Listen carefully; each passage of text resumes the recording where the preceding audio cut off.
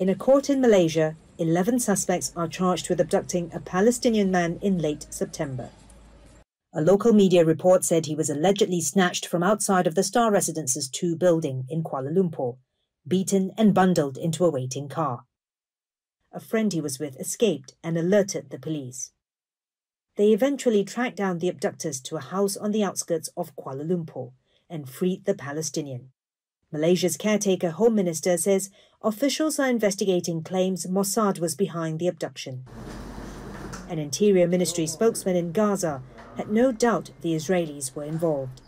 اليوم نحن ندين ونستنكر هذه الجريمة الإسرائيلية الجديدة We condemn and denounce this new Israeli crime against our people. We thank the Malaysian authorities and security services for their great efforts in thwarting this kidnapping attempt. According to a local report, men believed to be Israeli intelligence agents interrogated their captive in a video call on matters related to Hamas and its armed wing, the Qassam Brigades. He was reportedly questioned about his experience in computer application development and Hamas's strength in developing software.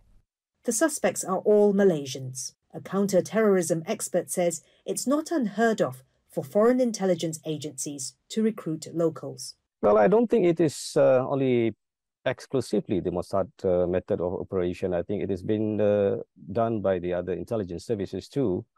Uh, we can see this thing happen across the world that whenever you're not capable of uh, operating independently, especially if it is too obvious that if you are present in certain location and it is easily being detected, then it is necessary for you to uh, recruit the local asset and work on your behalf.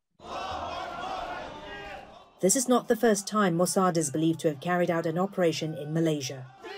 In 2018, a Palestinian electrical engineer was gunned down by two assailants on a motorbike as he was heading to a mosque in the capital.